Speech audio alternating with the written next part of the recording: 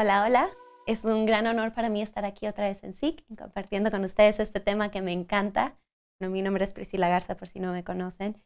Pero voy a empezar con una frase que yo creo que todos podemos relacionarnos con esta frase, o al menos en algún punto de nuestras vidas pudimos relacionarnos con esta frase.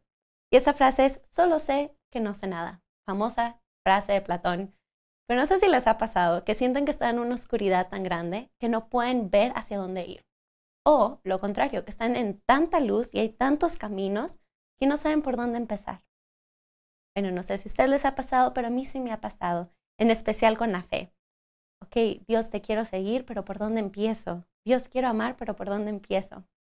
Entonces, el día de hoy me gustaría compartir con ustedes un poquito o algunas maneras prácticas de poder aplicarlo.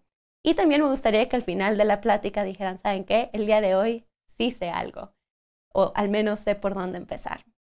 Pues voy a empezar por lo más básico, lo fundamental de nuestra fe, para poder de ahí ir caminando hacia el cómo hacerlo y cómo vivirlo, porque muchas veces sabemos cómo hacerlo, pero no sabemos cómo aplicarlo en el momento de nuestras vidas en el que estamos.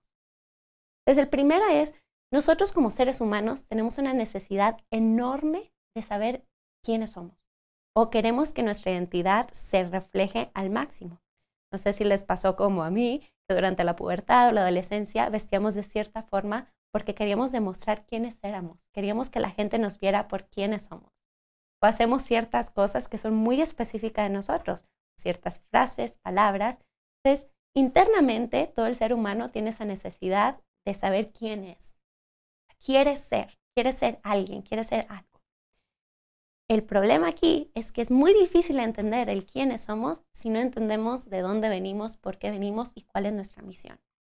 Entonces, Primera, ¿quiénes somos nosotros? Ir teniendo eso en mente. Vayan pensando, tómense un minuto, un segundo, lo que sea necesario, pero vayan pensando ustedes mismos, ¿quién soy yo? En mi caso, ¿quién eres, Priscila? ¿Qué es lo que te hace la persona que eres en estos momentos?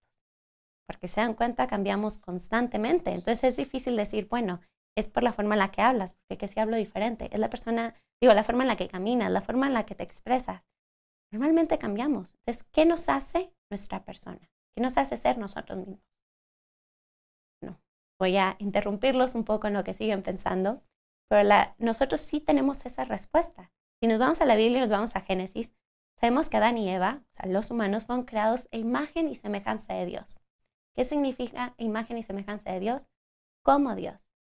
Eso nos habla mucho del quiénes somos y cuál es nuestra misión, lo cual es perfecto porque no tenemos que hacer nada porque nosotros ya fuimos creados a imagen y semejanza de Dios. Entonces, imagen y semejanza de Dios, si nos vamos al Antiguo Testamento, cuando se decía que alguien se parecía a alguien o era como alguien, significaba que era hijo o familiar de esa persona.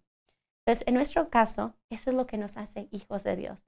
Eso es lo que nos hace decir somos como el mismo Dios. Pero para entender quiénes somos nosotros, tenemos que entender quién es este Dios. De quién es este Dios del cual hemos estado hablando o del cual escuchamos desde chiquitos cual escuchamos cuando vamos a misa, a la iglesia, en esta conferencia, ¿quién es este Dios del cual tanto hablamos? Bueno, nosotros eh, tenemos diferentes etapas en nuestra relación con Dios. Entonces tenemos diferentes nombres que le, damos al mismo Dios. Puede ser el creador, porque fue la persona que creó todo el mundo. Puede ser eh, nuestro Salvador, porque fue el que nos salvó del pecado. Puede ser nuestro Padre, porque tenemos la figura paterna de Dios Padre. Puede ser el Espíritu Santo, puede ser Jesús. Pero si tuviera que escoger una palabra que lleve todos estos significados o todos estos títulos, esa palabra es que Dios es amor. Y lo vemos múltiples veces en la Biblia, que se dice que Dios es, amor. Entonces, eso para nosotros, muchachos, es súper clave para entender quiénes somos nosotros y cuál es nuestra misión. Fuimos creados imagen y semejanza de Dios. Somos como Dios. Entonces, si Dios es amor, nosotros también lo somos. Y nuestra misión tiene algo que ver con ese amor. Entonces nosotros estamos llamados, si no lo han descubrido para estos momentos, estamos llamados a ser amados y al amar. O sea, amar y ser amados. Ser amados por el mismo Dios, porque Él es la fuente de amor. Realmente si no estamos conectados a esa fuente, es imposible entrar a un amor puro. Y amar porque es lo que nos corresponde hacer. Nosotros amamos porque fuimos amados antes. Entonces, para nosotros realmente entrar a esta misión, tenemos que entender bien y conocer bien quién es este Dios, quiénes somos nosotros, dónde encajamos en esta historia y luego maneras prácticas de ir compartiendo el amor. Entonces sabemos quién es Dios, quiénes somos nosotros, cuál es nuestra misión, pero ¿por qué nos cuesta tanto vivirla? La razón es porque estamos en un mundo donde ya fue afectado, ya fuimos afectados por el pecado. Entonces el mundo nos está atacando diciendo, tienes que ser esto, tienes que ser el otro, tienes que ser estudiante, tienes que ser maestro, tienes que ser bla, bla, bla. Y tenemos muchas cosas por hacer que si no lo cumplimos sentimos que no somos nuestra misma persona. Entonces, ¿qué es lo que podemos hacer para separarlo un poco? El mundo nos quiere decir quiénes somos. Incluso nosotros mismos queremos decir quiénes somos. Pero ya tenemos una identidad y tenemos que reconocer esa identidad. Es importante saber, como les decía, el quién es Dios. Porque si no sabemos quién es Dios, no sabemos quiénes somos nosotros. Por ejemplo, si yo compro un carro, el carro es mío y yo puedo intentar manejar, tal vez acelerar, tal vez frenar, eso no significa que sé exactamente para qué funciona cada botón del carro. La persona que lo va a saber mejor que nadie es la persona que lo creó. Y en nuestro caso es igual. ¿Quién va, ¿Quién va a conocer más de los humanos que el mismo Dios? La diferencia aquí es que nosotros no nos compramos. Fue un regalo libre, fue un regalo del mismo Dios. El mismo Dios quería que fuéramos hijos suyos. Entonces, Él más que nadie nos puede enseñar cómo es ser hijos suyos. Ahora que sabemos que nuestra misión es amar y ser amados, sabemos que esa tiene que ser la fuente de todo. Esa tiene que ser como que la vocación, la misión más importante. Y todo lo demás tiene que venir abajo de eso y todo tiene que fluir. ¿A qué me refiero? En la escuela, en el trabajo, en donde quiera que esté, yo puedo compartir este amor. Yo puedo ser amada y puedo compartir este amor. Pero en el momento en el que pongo la escuela o el trabajo, o sea, la forma, la vía en la que llega ese amor, antes que el mismo amor, no va a funcionar porque no, no hay nada que fluya. Estamos dejando primero la vía antes que el mismo contenido. Entonces necesitamos llegar a ese contenido. Y como les dije, es importante conocer el amor para poder compartirlo. Hay una diferencia entre saber y conocer. Yo creo que la mayoría de las personas en el mundo saben que existe un Dios o saben de un cierto Dios. Pero eso no significa que lo conocemos. Me encanta porque sí que es una gran oportunidad para eso. Es una oportunidad para realmente conocer este Dios del cual hemos escuchado tanto. Conocer significa tener una relación personal.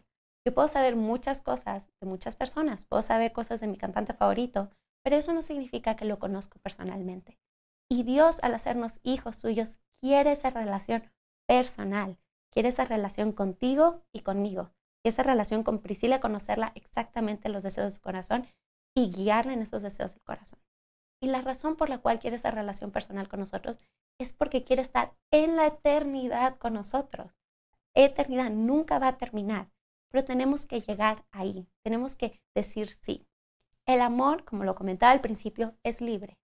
¿A qué me refiero con que es libre? Que lo tenemos que escoger. Entonces Dios nunca nos va a obligar a amarlo, nos va a dar la opción de amarlo, nos va a dar las formas de amarnos, nos va a dar la gracia necesaria para llegar a su amor.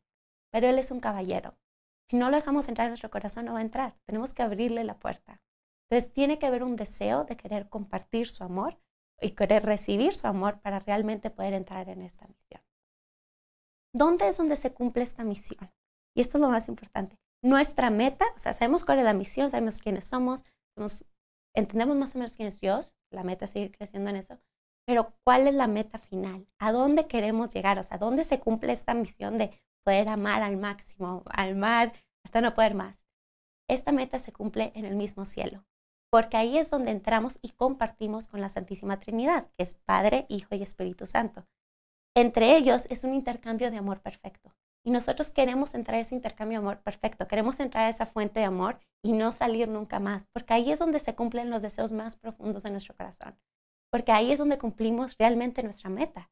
Ahí es donde llegamos y decimos, ¿sabes qué? Para esto fui creado, para esto Dios me hizo su hijo, para eso estoy aquí. Claro, llegar al cielo tiene sus propios pasos y hay veces puede ser un poco complicado. ¿Por qué?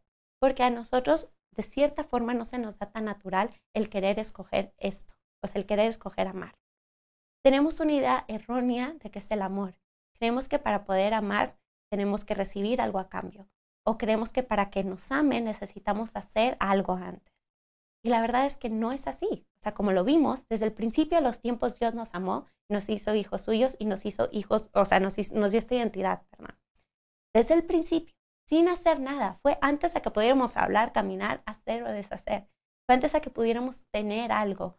Lo único que teníamos era esa identidad y era suficiente. porque Él no nos pide nada a cambio. Igual cuando nosotros compartimos ese amor, porque nosotros lo recogemos o lo recibimos de esa fuente, debe ser la misma forma. Debe ser sin recibir o sin esperar nada a cambio, porque muchas veces no lo recibimos, pero en nuestras cabezas lo esperamos. Entonces, saber que Dios es suficiente y no hay nada más. Otra razón por la cual hay veces es un poco difícil el entrar en esto es por el mismo pecado original. Entonces, si nos vamos a la creación, al principio de los tiempos, vimos que Adán y Eva fueron creados imagen y semejanza de Dios, lo cual significa que eran como Dios. Pero hubo alguien que no le gustó esta idea, algo, hubo alguien que no le pareció. Cuando Dios creó el mundo, había un orden. Era Dios, los ángeles y luego el resto de la creación. Al momento en que nos hizo a su imagen y semejanza, igual incluso él se hizo hombre, ¿verdad? Cambió el orden. Era Dios, los humanos, los ángeles y el resto de la creación. Por eso nosotros tenemos la bendición y el regalo de poder nombrar la creación. Por eso tenemos el regalo de poder, de cierta forma, controlar ciertas partes de la creación. Y por eso tenemos el gran regalo de poder dar vida. Porque el mismo Dios nos hace partícipes de su misma creación. Él quiere que creamos con Él y que hagamos con Él y que traigamos vidas a este mundo, traigamos almas a este mundo y traigamos santos a este mundo. Entonces es un gran regalo que es muy específico de los humanos. Pero los humanos, como nosotros sabemos, muchas veces caemos, muchas veces fallamos, no somos perfectos. Entonces hubo un ángel que no le encantó la idea de que los humanos estuvieran antes que los ángeles. Y este ángel era Satanás o Lucifer, porque él creía que no era justo que parte de la creación, o sea, los humanos, estuvieran antes que él. Entonces, ¿qué fue lo que hizo? Que fue atentar a la madre de la vida, la, persona, la que iba a traer toda la vida de este mundo, con lo más esencial de cualquier ser humano, su identidad. Fue y la tentó, le dijo, es verdad que Dios no quiere que seas como Él, es verdad que Dios no quiere que sepan todo, ¿verdad? Era una mentira porque una, Dios ya los había hecho a su imagen y semejanza. Y número dos, no era necesario comer el fruto prohibido para saber eso. Entonces ahí fue donde empezó a entrar la duda, la desconfianza y luego finalmente el pecado. Entonces, ese pecado que se llama el pecado original es el que tenemos nosotros y nosotros muchas veces batallamos con la idea de poder confiar plenamente en Dios porque lo enfocamos en lo que conocemos. Muchas veces en la humanidad, muchas veces en nuestras familias, muchas veces en general, pero se nos cuesta mucho el confiar plenamente en Dios, en Dios y el ser vulnerable con el mismo Dios. Entonces, ¿qué es lo que podemos hacer o qué es lo que podemos practicar para llegar ahí? Les voy a dar tres tips muy importantes y yo creo que lo han escuchado antes. Es la, fe, la confianza o la esperanza y la caridad. Son súper importantes estas virtudes teologales porque son las que nos guían y nos permiten llegar a Dios. Se los voy a dejar más fácil. Imaginen que Dios les regala un cheque de millones y millones de dólares, pesos, la forma en la que lo quieran ver. O todo lo que necesitan están en ese cheque. Y ese cheque es la gracia. Nosotros tenemos la gracia de tener todo lo que necesitamos en esta vida. ¿Cómo cambiamos ese cheque? Tenemos que llevarlo al banco para poder recibir el dinero y realmente usarlo. Entonces, nuestro banco es esa fe, esa fe que necesitamos para poder cambiar las gracias que ya tenemos para poder vivir en esta santidad.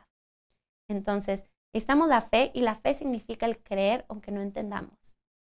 El saber que existe un Dios aunque no lo pueda ver en cada momento o en cada segundo. El confiar que en Él sí puedo entregar todo, mi todo. tenemos la fe, que es el primer paso. De ahí pasamos a la esperanza. Esa esperanza que solo puede haber en Dios. Ese confiar que solo puede haber en esa persona. Confianza de que Dios quiere lo mejor para nosotros de que Dios nos quiere en la eternidad con Él. Literal nos dio lo que a nadie, a ninguna otra parte de la creación le dio. En la confianza de que Él realmente nos va a dar lo que necesitamos en el día de hoy.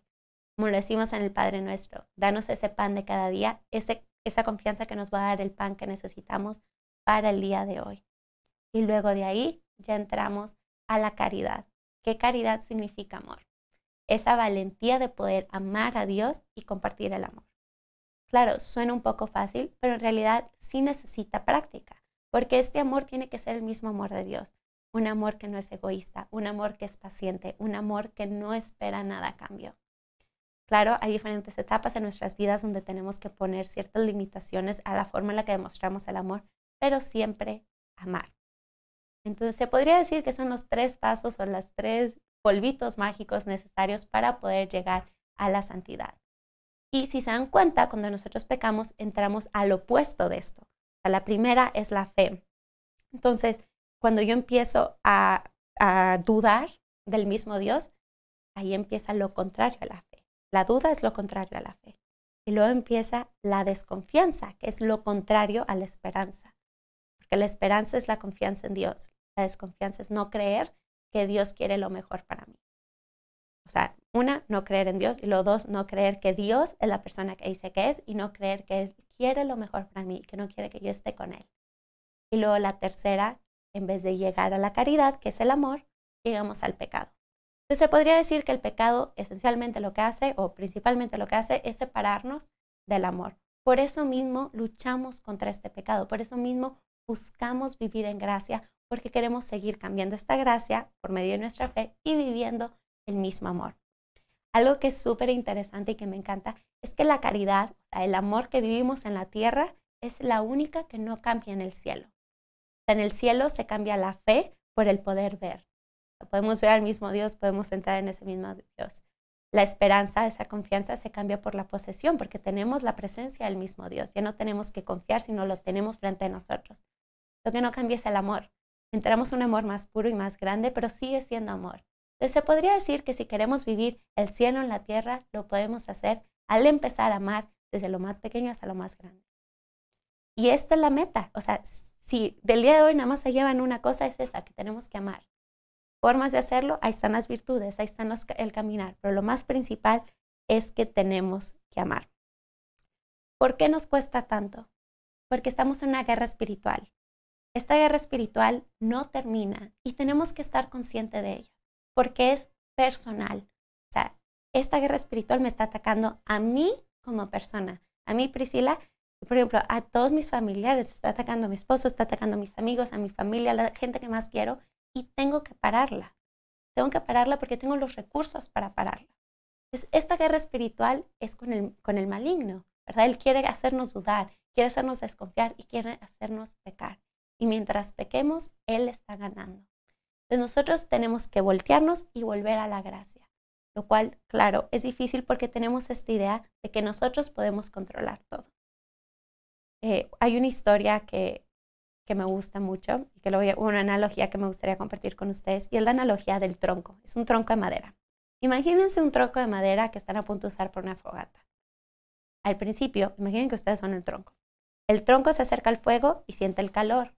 Siente el calor del, eh, del fuego y siente la luz del fuego. O sea, puede ver más.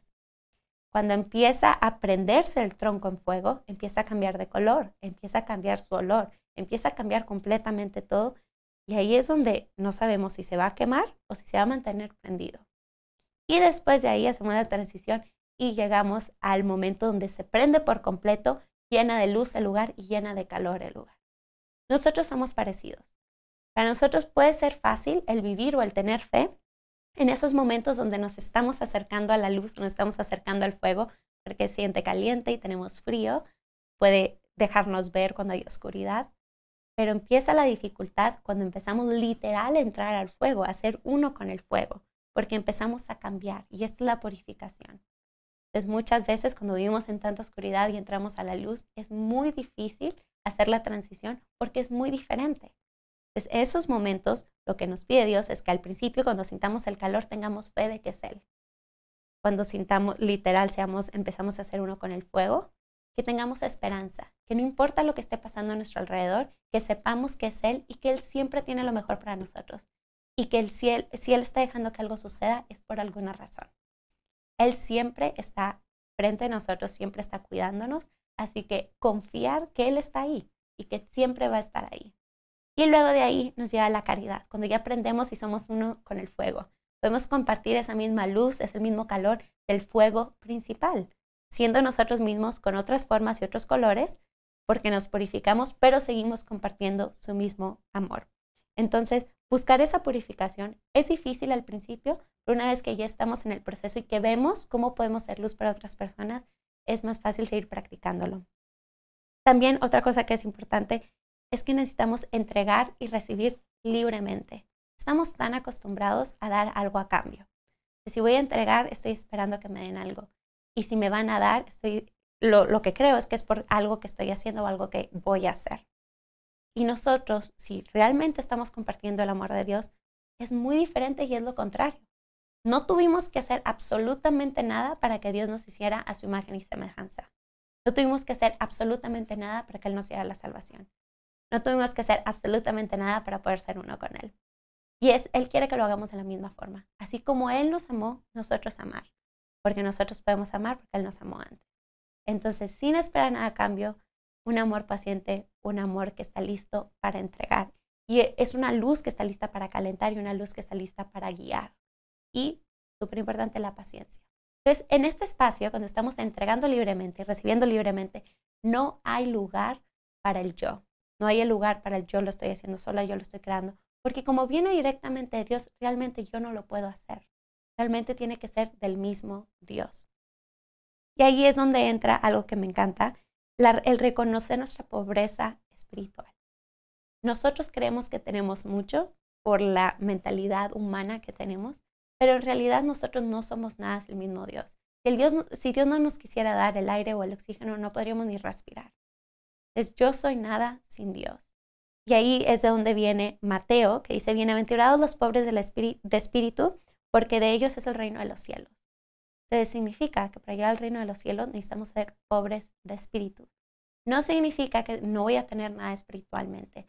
Significa reconocer que yo sola no puedo hacer nada. Que todo lo que yo tengo es un regalo, que todo lo que yo tengo es parte de Dios y es porque Él me ama. Entonces cuando nosotros reconocemos eso, tenemos el mismo Dios y nada nos falta.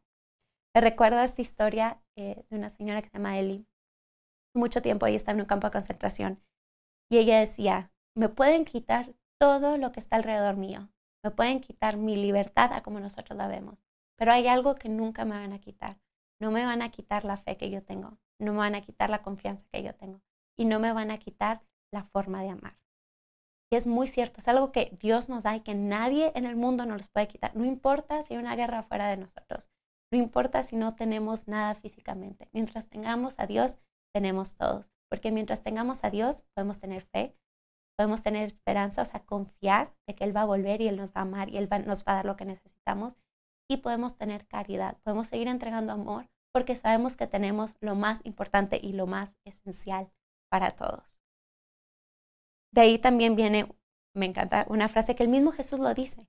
Nadie me la quita hablando de, de su vida, sino que yo la doy por mi propia voluntad.